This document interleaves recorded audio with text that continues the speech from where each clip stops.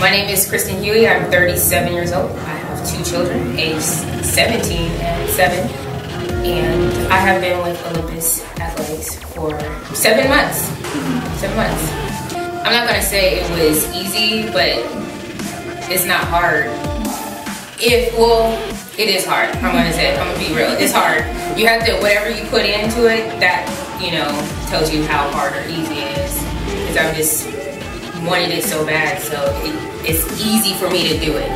But the actual training, brutal. I'm not gonna lie.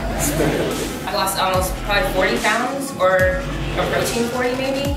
I'm just happy that I can back squat 200 pounds because we started out, my knees were really bad when we started.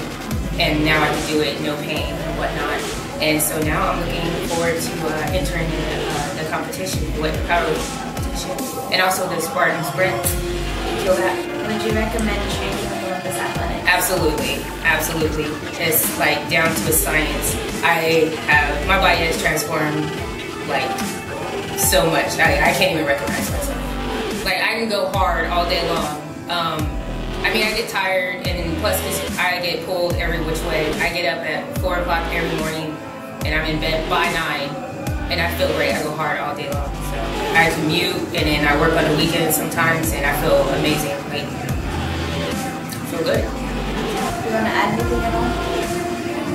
Uh, give Olympus Athletics uh, the, this amazing. go. Cheerio.